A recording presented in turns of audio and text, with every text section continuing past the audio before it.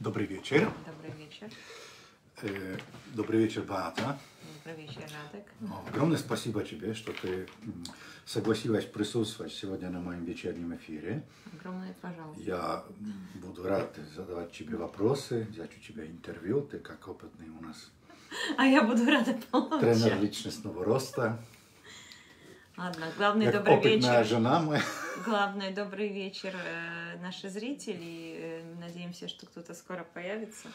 Да, э, нам очень приятно, что мы можем вновь общаться. У нас сегодня тема само... Я многоточие сделал и знак вопроса поставил, потому что так начинается несколько очень важных и интересных слов. Ну, конечно, я рассчитывал на предложение, вот, что создам загадку. Может, сейчас кто-то напишет даже, что э, э, на самом деле я мог иметь в виду, когда я говорил «само». Какое слово очень важное, которое начинается «само». Их очень много на самом деле, и очень много положительных, и много, э, много отрицательных оказывается. Отрицательное тоже есть. Я Да, просто конечно. положительно хочу. Смотри, Ну, какие мы да. разные. Да, ну ты молодец, ты хочешь все в положительном ключе, это очень, очень важно. Но есть и отрицательное, когда размышляла, сколько можно слов, которые начинаются Слушай, на я только самое положительное находил и приходили в голову. Ты меня сейчас даже шокировала, что есть это И у отрицательное. меня, у меня еще одно слово с, э, начинается на само, и оно, можно сказать, нейтральное. Самокат. Самокат. Да, это положительное же. Он уже сам качается. Ну, Может укатиться. А есть, если бы это некоторых людей так касалось, знаешь, э, ты говоришь, ну, катись, да, там, человек, и он так делал, покачился, самокат. Например. Э, Ну вот Марита предложила слово самоуверенный. Классное слово. Мы, кстати, об этом недавно говорили. И оно имеет какой оттенок? Оно имеет два оттенка на самом деле. Э, Положительное.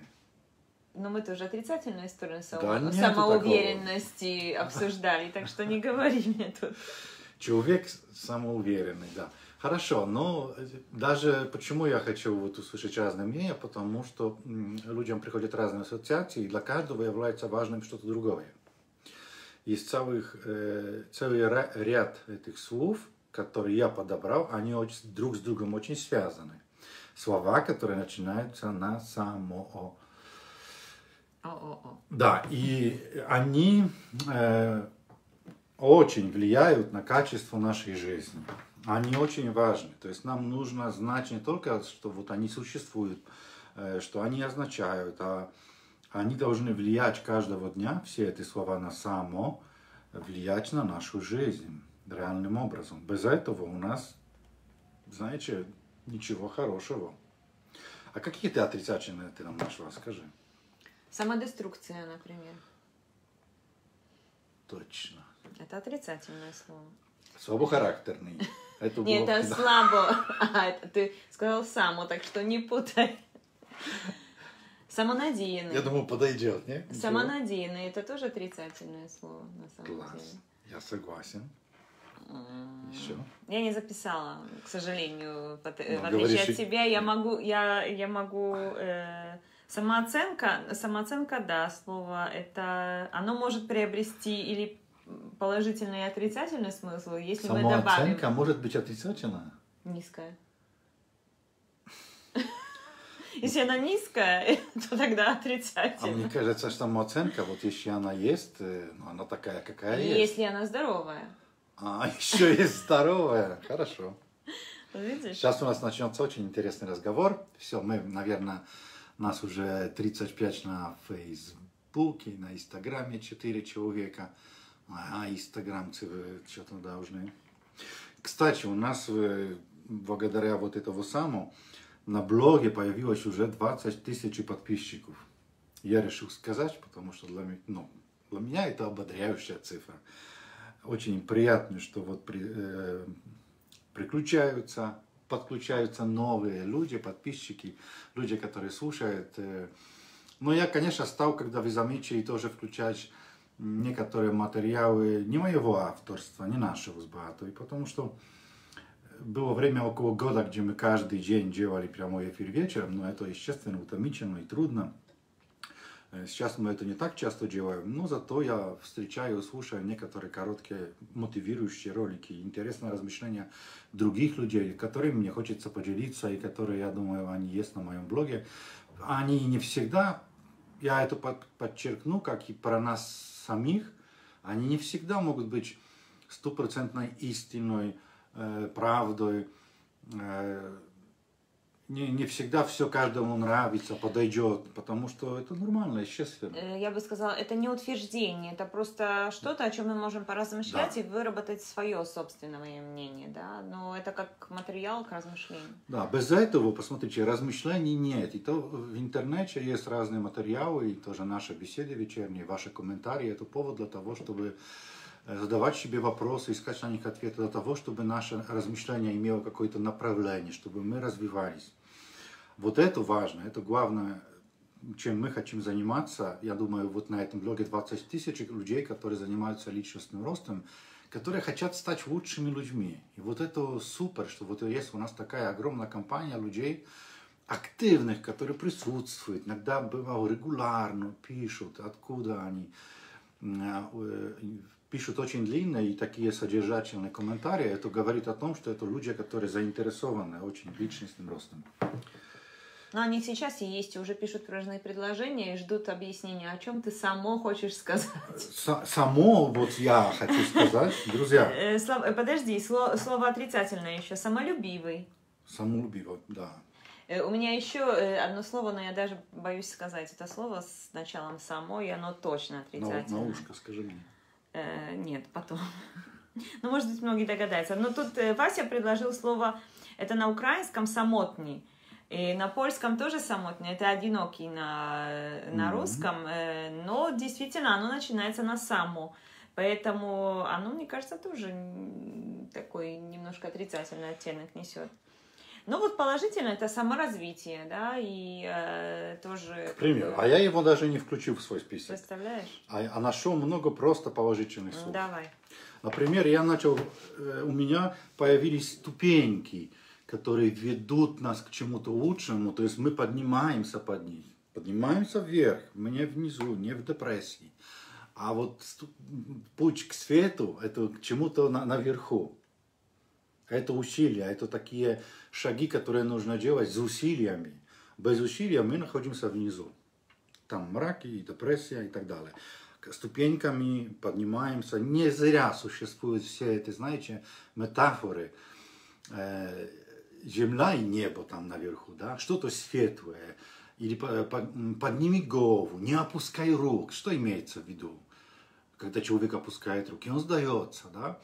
А подними голову. Это тогда, когда человек, он э, подавленный, грустный. Все эти метафоры, они показывают, знаете, что э, свет, он, что-то хорошее, оно находится наверху, да? А, а внизу вот депрессия слово, да, это все, это мрок, это, это какой-то подавленность, неактивность, э, отсутствие успеха, радости да, в жизни. И сейчас смотрите, первое, из чего я бы хотел начать, потому что это самосознание. Слово сознание, естественно, оно и что оно, вот оно в нас есть, это такая загадка. Ну, мы не будем углубляться в какие-то загадки э, и, и входить в споры. Но самосознание – это естественное знание самого себя. Это первое, с чего мы должны начинать э, свою жизнь. Или хотим ли мы каким-то образом вести жизнь, которая нас будет устраивать. Очень часто бывает так, что, я думаю, в большинстве случаев нас много чего в жизни не устраивает работа, друзья, не знаю, ситуации разные, происходящие в мире, здоровье, много-много чего не устраивает. Очень часто люди связывают, почему проблема материализма, она настолько популярна, люди связывают решение своих проблем, то, что их не устраивает, с количеством, с наличием денег. Свой преуспеваемость они, они оценивают количеством финансов они могут быть каким-то тоже показателем. И их отсутствие, тоже здесь мы поговорим об этом, оно связано с тем, э, с самосознанием. Самосознание – это слово, как, когда мы пос, посмотрим определение, человек знает самого себя. Друзья, я хочу вот э, время от времени вспоминаю Матфея, Евангелие от Матфея, слова Иисуса из Нагорной проповеди, первые слова, 5-4, там, то есть это самая известная его проповедь, его выступлении. Он начинает счастливые, само, э, осознающие свои духовные потребности. А я бы на, на первые слова обращу внимание. Счастливые люди, осознающие, да? Но свои, свои поэтому да, связано да, со словом Самосознание, сам. Да. да. Ну, в переводах, э, конечно, э, и русских, и польских есть разные, но встречается в современных переводах слово «сознание», да, самосознание. Идет речь о том, что вот счастливые люди, которые осознают, кто они такие, то есть что с ними происходит, да, в духовном плане, потому что дело не только в нашем физическом здоровье, а в том, кто мы во внутренней нашей структуре, какой у нас настрой, э, мотивация, дух, там есть и радость, мир, качество, посмотрите, стремление, положительность или нет. Вот все это, это, это мы как назовем? Это наше духовное внутреннее состояние. Да? То, чего нельзя как-то потрогать пальцами, но это в нас есть, это наше качество. Да? И э, как можно узнать самого себя? У тебя есть вариант? Ты, ты знаешь Самоанализ себя? нужен. А как это сделать? Ну, заглядывать Например, анализом ты сейчас кровь-то уже проверяла, да? да? Пошла к э, человеку, он тебе взял кусочек там этой жидкости красной, и через некоторое время сделали обследование, дали тебе информацию, анализ крови. Да. А что сделать с человеком в, в эмоциональном, духовном плане? Ну, во-первых, э, нужно э, иметь знание о том, что такое э, эмоция и как ее назвать, и что во мне происходит. Уметь это назвать, это первое. То есть тоже получать знания о себе, о человеке, о внутренности, о том, как действует наш организм не, не только в физическом плане, потому что мы много заботимся о нашем физическом здоровье, и многие могут много сказать да, об устройстве организма, как можно заразиться какой-то болезнью или как лечить какое-то заболевание, да, очень много интересуемся. Но если мы говорим о духовности, о нашем внутреннем мире, об этом тоже нужно получать знания. И тогда мы можем анализировать на основании этих знаний себя, как вот я с этим, да. Сопоставление такое сделать да. себя с этим. Да. Ты упоминала эмоции, да, и есть в нас очень много эмоций и чувств. Э, опять здесь для того, какие в нас доминируют, э, что в нас присутствует или нет. То есть, во-первых, мы должны читать об этом, узнать, что в нас есть эмоции. Узнать и потом, может, даже кого-то попросить, чтобы кто-то оценил, какие у нас качества есть. Но качество одно, эмоции это другое. Да, ты права. Да. Потому что я бы хотел, еще про качество,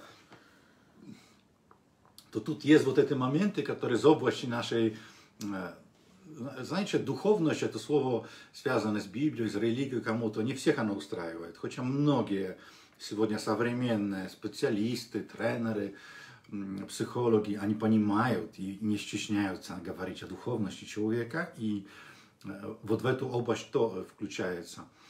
Э, дело не только в самых там религиозности, в том, что верит ли человек в Бога или нет. Я бы сказал, иногда есть атеисты, у которых присутствует духовность нравственность, например, да. Э, то есть у человека есть какая-то оценка, внутренний голос его того, что хорошо, что плохо. У каждого человека есть совесть, и мы ее так называем. Сейчас человек, он э, нравственный, то есть там можно оценивать его стремление, к чему старается. Старается ли поступать он э, по каким-то правилам, законам, то есть не нарушает ли он каких-то границ, не причиняет вред окружающим. То есть вот здесь вот это уже есть какая-то оценка человека. И это общие нравственные нормы, э, везде они одинаковые. То есть мы, мы сейчас не будем их подробно рассматривать, но они есть, они доступны. Что такое воровство, обман, честность, ну, вот честность, все это знают люди. Но я бы еще обратил внимание на самоанализ. Посмотрите, то есть об этих нормах можно почитать и подумать, кто я такой. Э, по соотношению к этим нормам. То есть, есть, обратите внимание, человека чем-то нужно измерить, чтобы его оценивать. Ну и самому оценить себе, узнать себя. То есть с чем-то нужно сравнивать. Вот нужно иметь какой-то прибор. Для, э, для расстояния есть там рулетка, да, э, есть весы для взвешивания там, да, тяжести какой-то. Э, Библия используется, хорошая книга для того, чтобы определять духовность, нравственность в человеке. Это прекрасная книга, которая говорит о нормах, которые, благодаря которым люди, они живут в хороших отношениях и делают друг другу добро, они не страдают. Э, они испытывают наслаждение в дружбе, в семейных отношениях, в отношениях с Богом. Я вот еще хочу вернуться к тому, что есть такое, э, как вера в человеке. И вера это не просто религия. Верит ли человек в результат, положительный результат того, что он делает? Посмотрите, что э, кто бы там верил в Бога, нет, атеисты присутствуют здесь или нет, я никак не, не стану осуждать и тем более каким-то образом критиковать. У каждого свой личный путь к тому, чтобы осознать, есть, ли Бог в его жизни, в чем смысл жизни. Но наверняка э, у каждого человека присутствует в большей меньшей мере, мере вера. Когда мы что-нибудь делаем своими руками, идем на работу, устраиваемся, или мы само, сами себя устраиваем на работу, создаем, то есть мы выполняем что-то с надеждой на какой-то результат, и он потом есть или нет. Мы учимся тоже с ожиданиями, мы что-то делаем, и на самом деле верим, что будет такой, такой-то результат. Там тоже присутствует надежда, да, что будет положительный результат.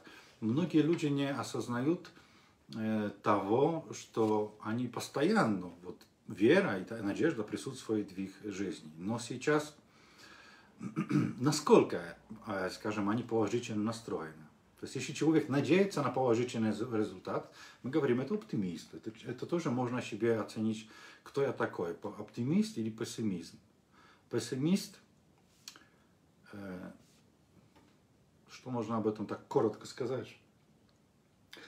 Человек, который не верит в положительный результат. И очень часто тогда он не, не начинает что-то делать.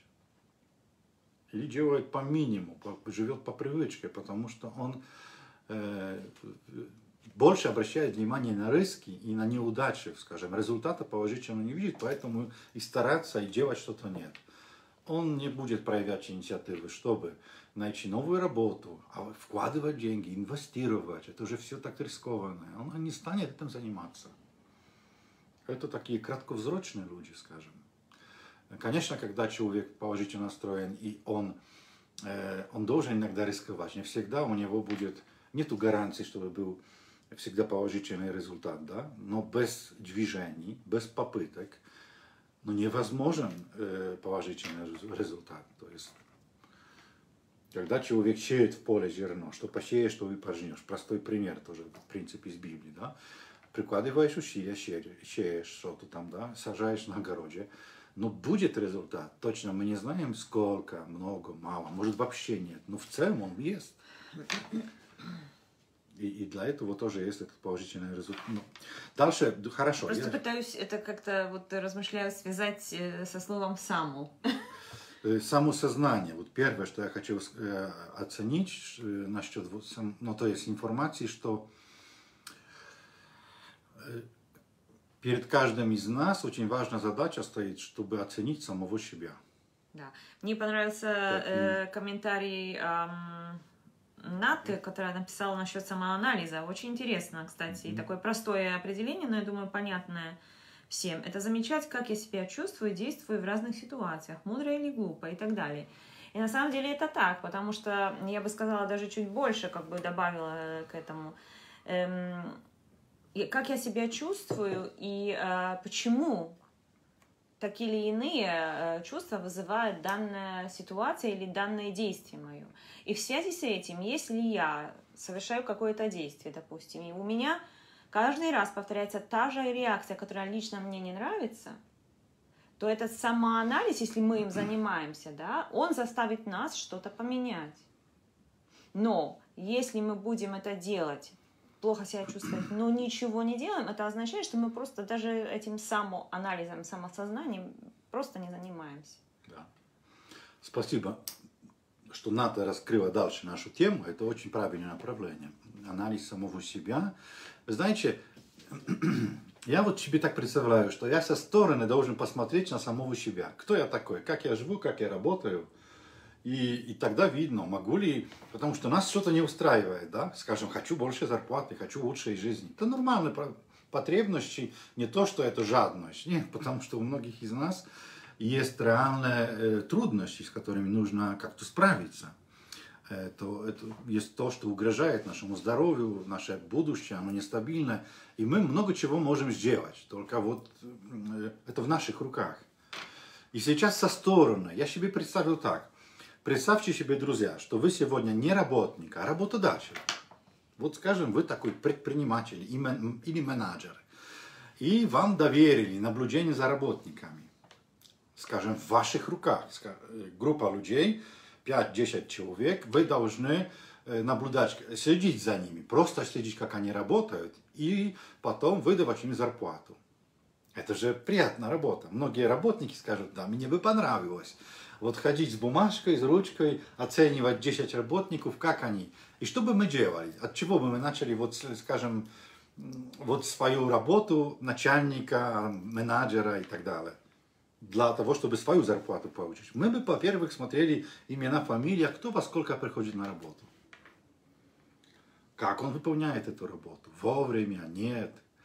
Э, насколько он старается. Мы же за этим следили, потому что э, это, за счет этого вы, вот и наша зарплата потом получается. То есть мы зарабатываем таким образом. Представьте себе, что вы со стороны смотрите на самого себя.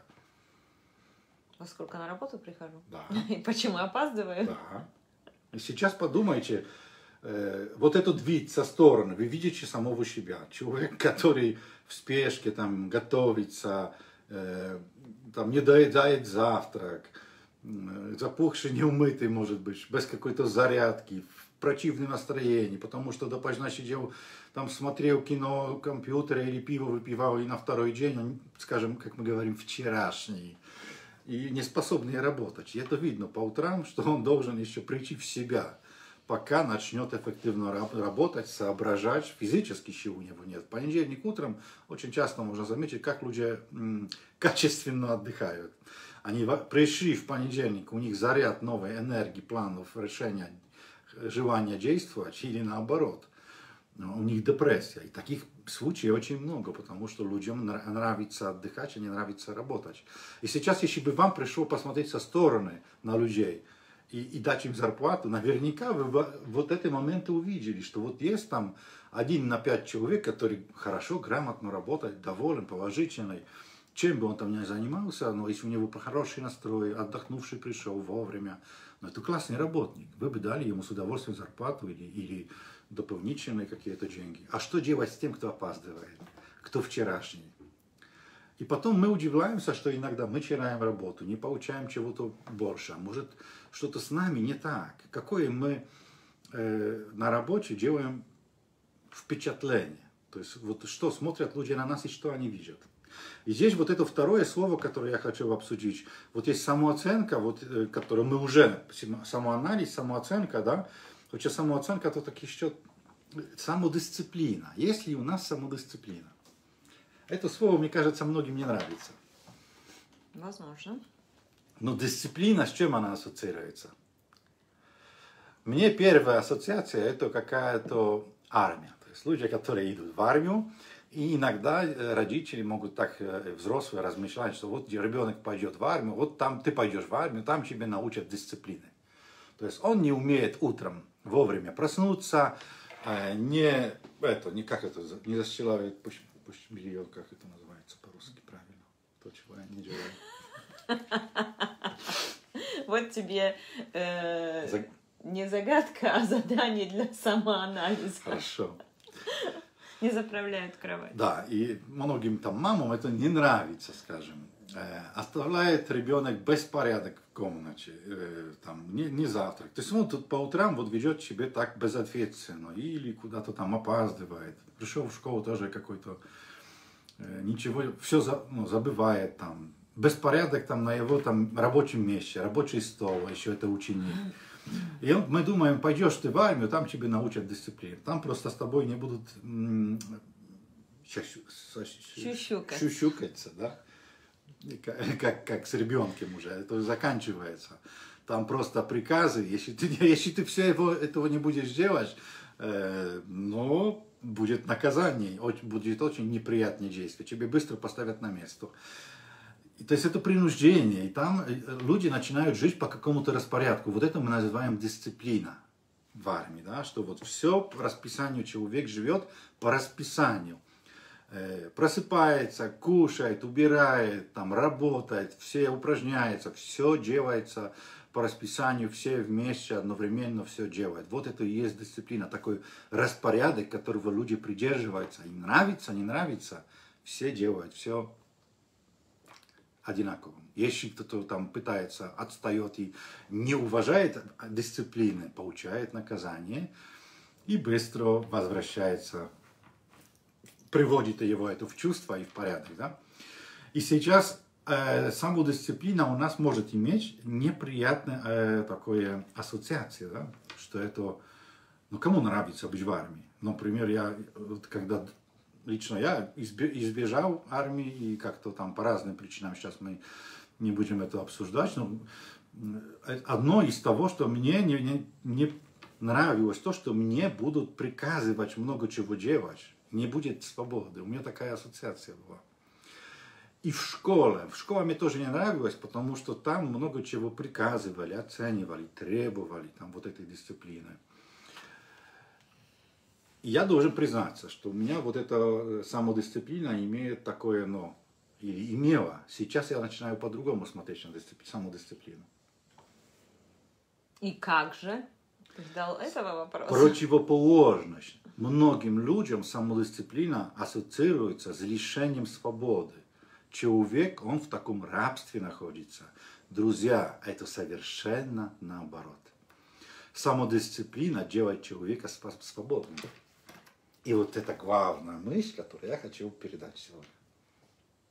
А, что самодисциплина делает человека свободным? Да. Все, закрываем сегодняшний да, эфир. Нет, кое-что еще есть, но вот но, это вот конфетка, понимаешь? Я, что... думаю, я думаю, что, э, что э, слово дисциплина и самодисциплина, э, как бы как вытекающее из этого слова, mm. оно э, плохо ассоциируется многим, потому что э, эту дисциплину неправильно, во-первых, понимали и неправильно применяли. И из-за этого как раз эта ассоциация с каким-то арабством, ограничениями, э, слишком э, э, строго поставленными границами, и человек на самом деле не в состоянии ничего сделать по собственному желанию. Но если мы перейдем к слову самодисциплина, да. то человек сам себе определяет рамки, сам себе определяет какой-то порядок в жизни, и на самом деле это дает свободу, потому что если ты живешь по этому порядку, твоя жизнь совершенно меняется. То есть это не ведет к самодеструкции, да. скажем так, а наоборот, саморазвитие, да, самореализации и так далее, и так далее. Молодец. Э, да ладно. Но э, я тут хочу вернуться к одному вопросу, который появился. Э, возможно, он тоже связан, ну, невозможно, он, он точно связан в какой-то, в какой-то степени со, со словом да. самодисциплина. Подскажите, пожалуйста, как определить свою самооценку по шкале? Идем прямо к этому уже. Да?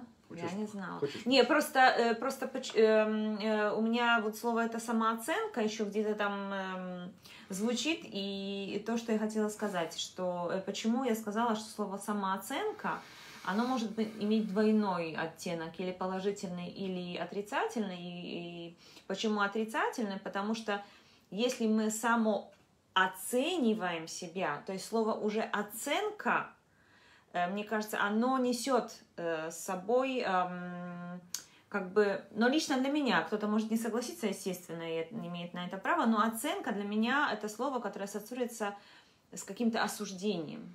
То есть на тебя навешивают какой-то определенный ярлык, и ты как бы уже хочешь не хочешь под это, это твои ассоциации. Это мои ассоциации. Потому что оценка сама по себе но, это нейтральное что-то. Э, но опять же, если взять сейчас положительный оттенок этого слова, то мне больше э, все-таки э, самооценка э, в положительном смысле эм, ассоциируется со словом больше самоанализ.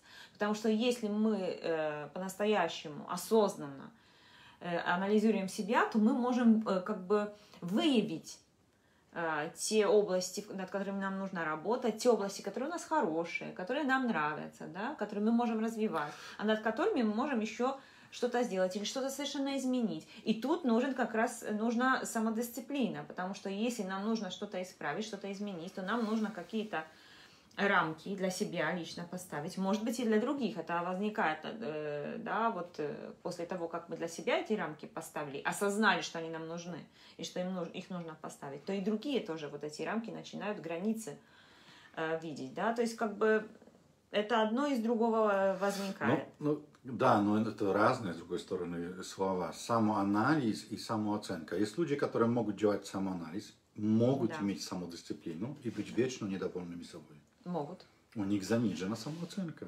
Вот. Это подтверждение как раз того, что это да, имеет отрицательное да, к этому мы сейчас подойдем. Но сейчас, хорошо, даже вот этот момент, теперь как, скажем, поднять самооценку. Что сделать, чтобы она была...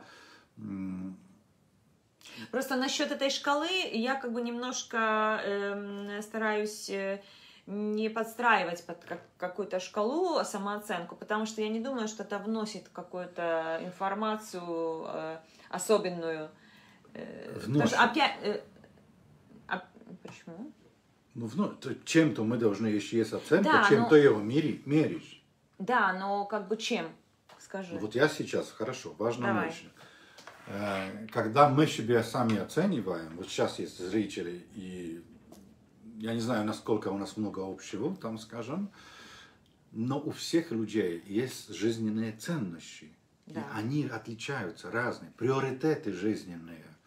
Э, то есть у кого-то семья, то есть это какие есть жизненные ценности, да?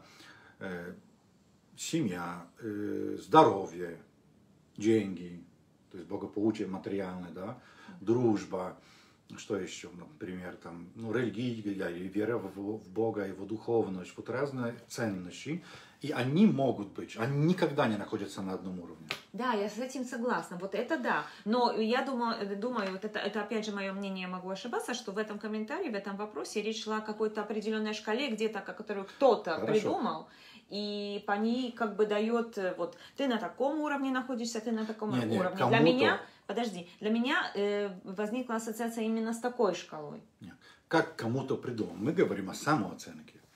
Хорошо. Поэтому чужой мы не используем. Просто у человека есть разные ценности. Если для него дружба является самым основным, или, например, справедливость, или духовность, или семья, то есть он себя, э, вот скажем, от этого, что у него происходит в семье, он себе так будет оценивать. Хорошо. Есть люди, которым работа является самым высоким показателем. Но я думаю, что неспроста слово «шкала» здесь употреблено, ну. потому что, например, так как я вернусь к этому э, анализу крови, его же определяют показатели по какой-то шкале, по какому-то образцу, да, э, подходят ли показатели или нет. То есть эту шкалу тоже кто-то установил. Поэтому мне так кажется. Но если, э, я просто не помню, как зовут э, девушку, которая задала этот вопрос, возможно, можно исправить мою точку зрения. Я просто это так поняла, поэтому я Но вернемся говорю. к этой возможности измерения, поставить, да. поставить оценку.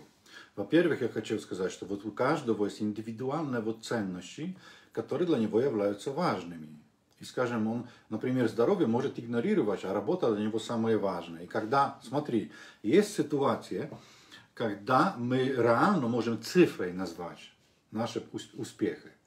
Например, финансы. Ну, да, финансы. Если человеку очень важно, сколько он зарабатывает, то есть он видит, какой у него есть прогресс как он развивается в этой области. Может э, сравнивать себя с другими или нет, это другой вопрос. Но как минимум он сам видит у себя результаты, что они поднимаются. Его... И сейчас смотри, и э, если вот э, остановимся на этом примере, то э, опять же, здесь как бы самооценка, да? Вот кто-то может быть постоянно недоволен, несчастлив, независимо от того, какой уровень, или просто если не достигнет вот этого уровня иногда завышенного для его возможностей, его э, самооценка будет низкая или будет еще больше падать, да? да Поэтому лично мне слово самооценка не очень нравится, если честно. Мне нравится. Просто Какие сравнивать, не, не, не, сравнивать, это все равно происходит, друзья. Э, мы должны осознавать, что мы постоянно себя оцениваем в сравнении с другими. Или других незаметным образом. То есть мы можем попадать в эту ловушку. Откуда мы знаем, что человек высокий или низкий? Когда видим одного человека. Как мы знаем, высокий или низкий? Когда видим два-три человека на фотографии, мы можем видеть один высокий, а второй низкий. Да. В сравнении мы Конечно. видим. И поэтому в разных ситуациях мы начинаем людей оценивать.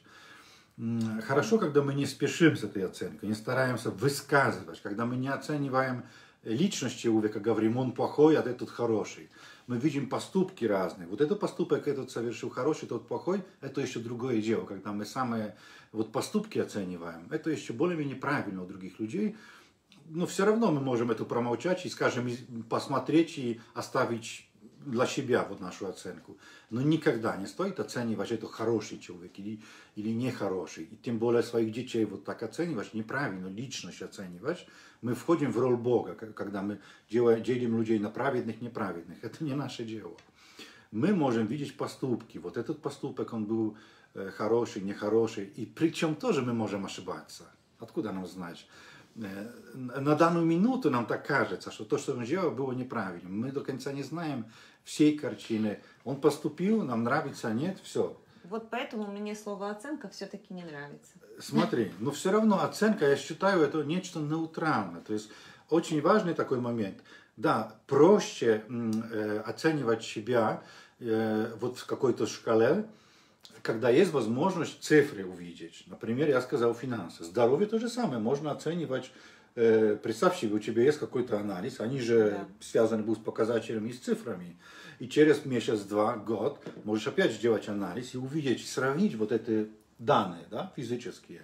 Но есть эта ситуация, когда, например, мы пытаемся оценить отношения с женой, с детьми. Проанализировать. Проанализировать. Хорошо, пусть это слово будет. Здесь все, вот на самом деле в чем э, заключается как бы, ну, важная мысль, которую нужно сказать. Бывает так, и автоматически, где мы себя оцениваем, себя сопоставляем с другими людьми. Хорошо, так оно бывает. Но на самом деле мы строить должны свою самооценку э, со своими достижениями. Сами себе ставить цели или наблюдать за собой, кем я был, а кем я стал. Вот это правильно, да?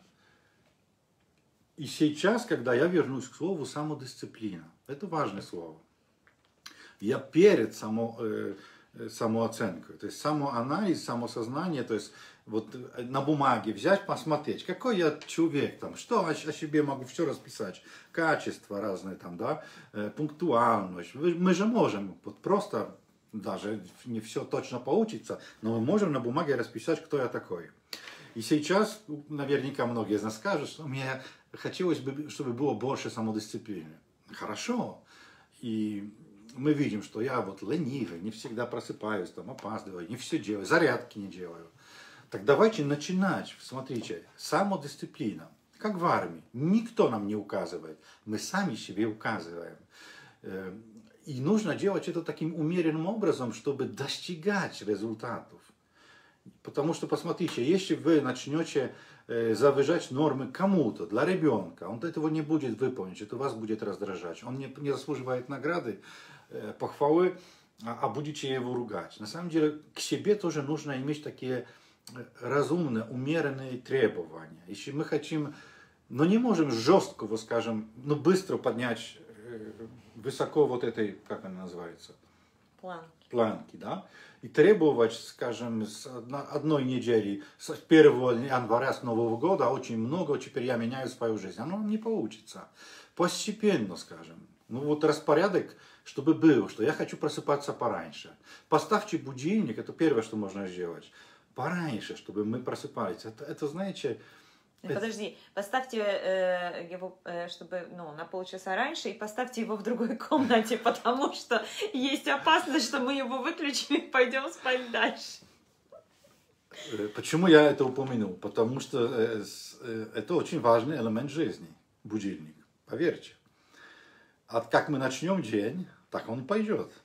Если мы начнем опаздывать на работу. Скажем, у нас привычка э, просыпаться в последнюю там минуту уже, и мы начинаем в спешке одеваться, не побритый, не успел помыться, не успел покушать. э, и я бегу на, на работу, я на нее опаздываю, то есть я там уже получаю раздражитель. По дороге я думаю, как оправдывать себя. Понимаете, в каком стрессе я начинаю день.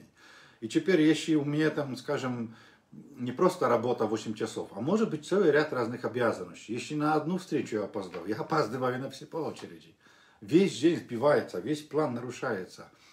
То есть весь день встречи только по, по поводу одного неправильного решения, того, что я э, полчаса, ну, скажем, позже ну, передвинул вот этот, ну как, подъем просыпаться пораньше, это то, с чего нужно многим, э, многим из нас начинать. Поставить будильник пораньше. Сделайте это так, чтобы это не пугало нас. Например, сделайте сигнал даже более приятным. Не просто тупой звонок, который как в армии или в тюрьме. Сейчас у нас есть это разные красивые мелодии. Друзья, я даже когда-то читал по интернету, копался, исследовал. Вы знаете, что человек в лучшем настроении просыпается, когда слышит звук петуха. И есть звук, можно найти, звук петуха на будильнике. Доказано в телефоне. в телефоне, что это натуральные звуки, которые есть, звуки природы, звуки петуха, вместо там какого-то э, электронного сигнала ти-ти-ти-ти-ти, что-то в этом роде. А, или какая там, знаете, рок-музыка. Это, это вводит нас в какое-то шоковое состояние. А как вот оно начнет вот день, как мы говорим, с какой ноги человек встал. Всегда все осознавали с поколения в поколение, что человек очень важно, как начнет день. Вот как он проснется, в каком настроении. Сейчас вот этот петушок или мелодия, э, чуть-чуть пораньше, чтобы у нас не было какого-то стресса.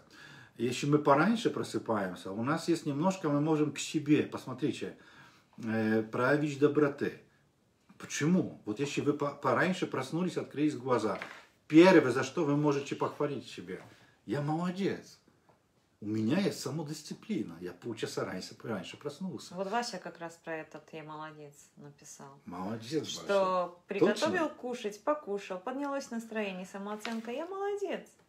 Сам этот момент, что я открыл глаза и поднялся полчаса раньше, вот это, это смотрите, э, какое настолько простое действие это уже повод, чтобы с самого начала дня себе собой гордиться, что у меня самодисциплина. Я человек успеха. Я молодец. Теперь, смотрите, продолжаем все делать дальше, выполнять все дальнейшие действия с хорошим настроением, э, с хорошей самооценкой. Вот, то, вот, вот это важно нам. С положительным настроем, да? потому что у меня самодисциплина. А если вы включите будильники, вы не подниметесь, и, скажем, будете спать еще полчаса, вы просыпаетесь с чувством того, что у вас нет самодисциплины, что вы человек, ну, неудачник или, э, ну, такой, не блин. Ну, это, ваша самооценка будет низкой. Э, будете сами себя критиковать, осуждать и в течение всего дня. Все, что будете делать, оно не будет, э, не будет клеиться, не будет получаться так, как у человека с, с хорошим положительным настроем. Так что вот этот момент первый для самодисциплины – Э, дело не в том, чтобы прямо сделать такой шаблон на весь день с утра до вечера. Не обязательно. Постепенно нужно вводить. Но момент, во сколько мы проснемся, и когда вот первое, что мы сделаем, проснулись и поднялись, уже повод для хорошей самооценки, самодовольствия, что у меня есть дисциплина, самодисциплина. Нам тоже нужна самодисциплина. Еще больше? Да. Чтобы не затягивать эфиры. А что, сколько есть у нас? Мы уже 45 минут говорим. Хорошо. Тогда, э, ну, на самом деле, мне хотелось, друзья, сегодня важна мысль, что самодисциплина, к чему она дальше, я коротко еще расскажу, приводит, что на самом деле это не рабство.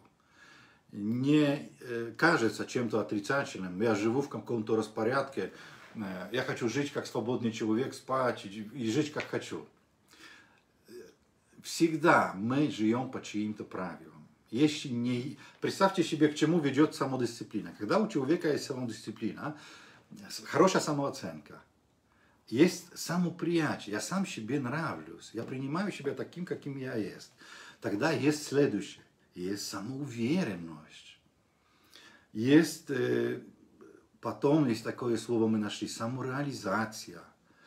Э, самостоятельность, самодостаточность. В конце концов такой человек, он сам устраивать себе на работу, на такую, какую он хочет, хочет устроиться. Он делает то, что ему нравится в жизни.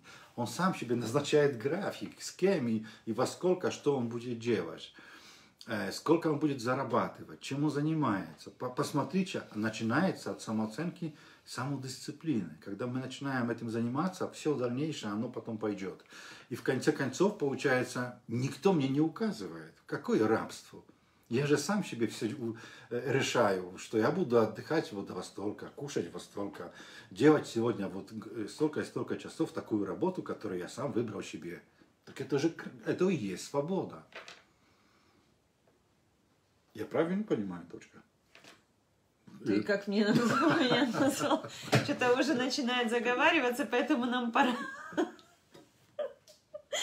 Нам пора. Э, да, ты все правильно про говоришь. Я, я, просто... я, я только за. Да, ладно. Давай применять. Точку будем разбирать сейчас, да, закончим эфир. Что ты имел в виду? Саморазберемся.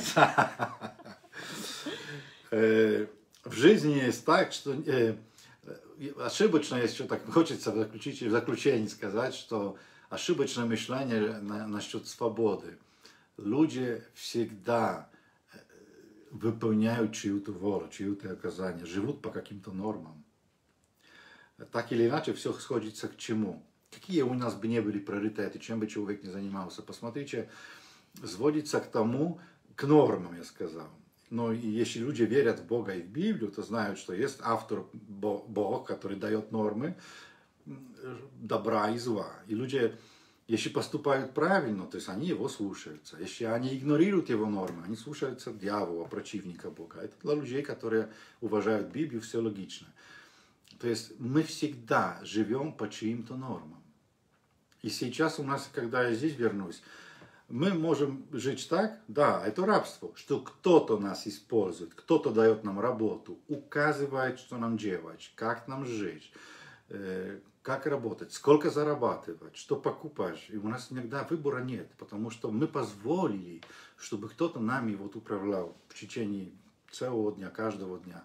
А сейчас посмотрите, если мы начинаем, э, э, имеем это самосознание, э, делаем самоанализ, когда тренируем, тренируем в себе и улучшаем вот эту самодисциплину, потом идет дальше самоприятие, хорошая самооценка, самоустроенность, самореализация, самодостаточность. Человек, я сейчас хочу сказать, каждый из нас должен стремиться быть самодостаточным. Только так, я даже считаю, что люди такие должны вступать в брак, должны рожать детей. Самодостаточный человек. Ну, конечно, насколько это другой вопрос. Но если человек не самодостаточный, значит он что, вступает в брак, чтобы брать, брать что-то, что он может дать? Как он может создавать и строить что-то, если у него он не самодостаточный? Согласна. Просто боюсь, что ты опять разобьешь тему, потому что это новый. Не бойся, это не страшно. Не страшно. Не страшно? Нет, Просто хорошо, я, я еще э, одно слово на само э, да, ты тоже вспомнила. Пару предложений буквально и закругляемся. Э, самоконтроль и самообладание. А. Потому что очень часто, это, кстати, связано с тем, что очень часто либо кто-то нам указывает, либо мы сами. Да. И если мы э, понимаем свободу как э, то, что мы сами управляем своей жизнью, то мы тоже заним... должны заниматься самоконтролем, чтобы не пытаться контролировать других. То есть я ответственна только за свою жизнь, но не за жизнь другого человека. Потому что таким образом мы начинаем делать то, что э, нам самим не нравится. А делаем это на... Да, самообладание, да, я тоже это сказала. Я записал тоже сегодня. Молодец. Самообладание и самоуправление. Сказал это слово. Да. Потому что самообладание, да, многие думают, что это нужно овладеть собой, типа себя сдерживать, контролировать, держать, вот как будто тормоз... затарм... затормаживать. затормаживать самого себя. А кому это нравится? Это, это неправильное представление. Для меня самообладание ассоциируется с тем, что я владею собой. Я управляю собой. Я решаю, как мне жить.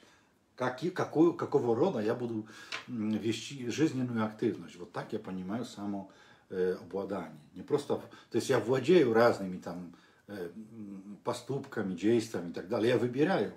Если я, э, у меня есть самосознание, и я осознаю, что происходит тоже во мне, чего я хочу, то будет и самообладание, и самоконтроль, самоуправление и так далее, само-само. Поэтому мы вам желаем самого-самого лучшего Друзья, вечера. вы самые лучшие подписчики, самые лучшие комментарии, самые... нам вообще так повезло, вы самые-самые. Да. Давай, Спасибо самое. вам за этот вечер, за ваши комментарии. Мы еще их просмотрим э, э, заново.